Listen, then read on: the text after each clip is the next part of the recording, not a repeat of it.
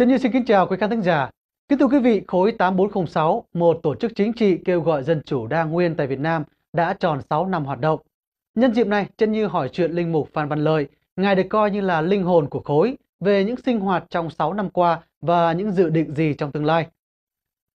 Vâng, lời đầu tiên thì xin gửi lời chào đến linh mục Phan Văn Lợi ạ. À, vâng, xin kính chào anh Trân Như cũng như là cả quý vị khán thính giả. Dạ vâng, à, xin cha có thể cho quý khán thính giả của Đài Á Châu Tự Do được biết trong 6 năm qua thì khối đã làm được những gì ạ? À, kính thưa quý vị, trong 6 năm qua tôi đã làm được một số việc nhờ sự hỗ trợ của đồng bào cũng như nỗ lực của các thành viên. Đó là chúng tôi đã thường xuyên lên tiếng về cả cái à, biến cố thời sự cũng như là những cái sai lầm và tội ác của Đảng Cộng sản Ờ, chúng tôi đã có ra 32 kháng thư. Chúng tôi đã có lập hai tờ báo. Chúng tôi có một cái diễn đàn podcast hàng tuần. Ờ, chúng tôi cũng có một cái chương trình phát thanh đã khởi sự từ năm 2007 trong qua thì khối đã mở rộng không những ở trong nước mà còn lan ra ngoài quốc đến Hoa Kỳ, đến Gia Nã Đài và đến Úc Châu. Chúng tôi cũng đã gợi ý được để có những cái khối thân hữu, thành lập để mà hỗ trợ khối chúng tôi, cũng như là nhiều cái ủy ban yểm trợ cho khối ở nhiều nơi trên thế giới. Với tất cả những nỗ lực đó, tôi đã được cộng đồng người Việt cũng như là quốc tế là công nhận bằng cỡ khối đã được 20 giải nhân quyền của người Việt Nam và 27 giải nhân quyền quốc tế.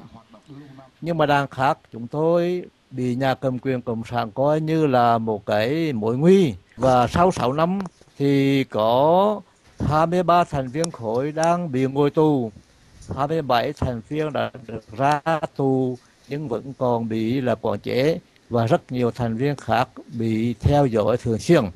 Vâng, tất nhiên là khối đã trải qua nhiều khó khăn trong những năm qua. À, xin cha có thể chia sẻ một vài cái nét chính mà đáng quan tâm không ạ? À, vâng, kính thưa quý vị, thì những cái, cái khó khăn lớn nhất đó, đó là những thành viên mà nổi bật của khối bị sách nhiễu bị đi vào tù.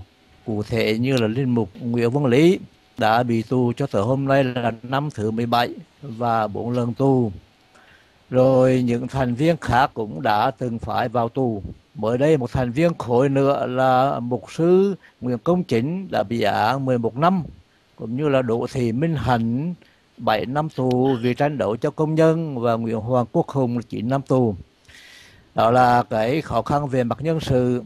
Trên cái mặt hoạt động thì nhà cầm quyền Cộng sản luôn là theo dõi bám sát các cái thành viên khối để ngăn chặn họ, à, không cho họ liên lạc với nhau. Ví dụ như là kỹ sư Đỗ Nam Hải bị canh gác thường xuyên. Bản thân của chúng tôi cũng luôn luôn là bị là canh giữa rất nghiêm ngặt vì vậy mà chúng tôi chỉ có thể là giao tiếp với nhau trên các phương tiện thông tin hiện đại mà thôi chứ rất khó khăn khi gặp nhau. Và khối à, cũng bị ngăn chặn trong việc phổ biến cái tờ báo của mình đó là tờ tự do ngôn luận.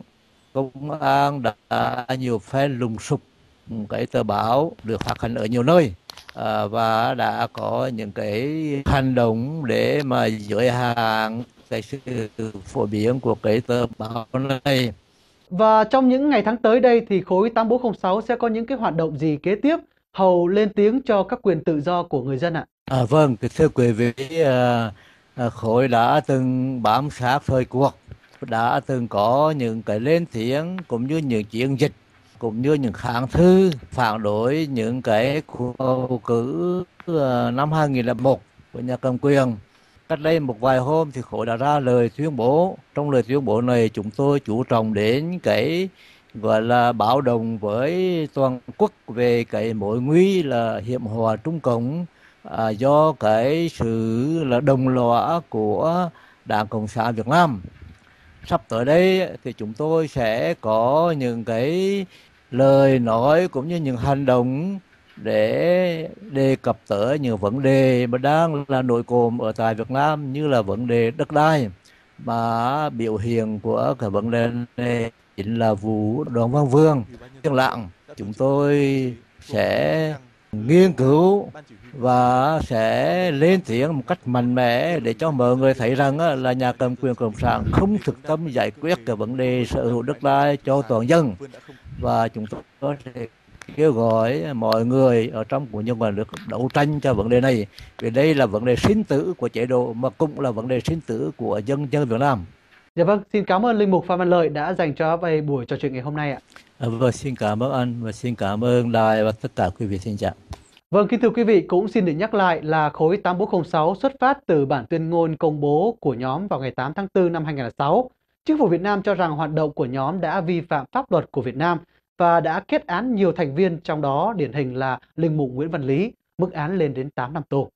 Trần Như xin cảm ơn quý vị đã theo dõi và xin kính chào tạm biệt quý vị. Hẹn gặp lại quý vị trong chương trình lần tới.